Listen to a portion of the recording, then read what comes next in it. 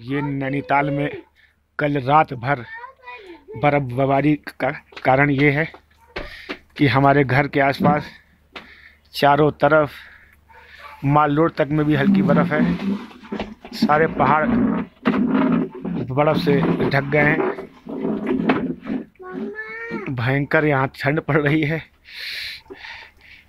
तापमान zero degree है। सारे घर बर्फ़ से ढके हैं।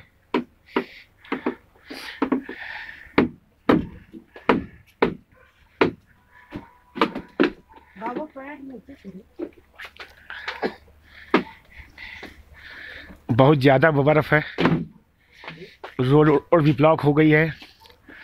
हम लोगों के बाथरूम में पानी की टंकी की पाइपलाइन भी ब्लॉक हो, हो गई है। पानी की सुविधा भी अभी फ़िलहाल के लिए रुक गई है।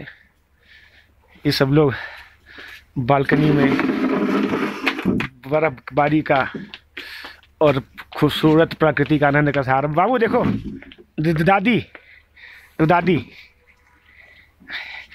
दादी यहाँ। इस सूर्यदेव की बहुत ज़्यादा परेशानी बढ़ गई है कि, कि, कि कितना ठंड में नहीं रह पाएँगे हम। और नहीं रह पाओगे तो यहाँ से बाहर जाने का भी तो कोई चारा तो नहीं है।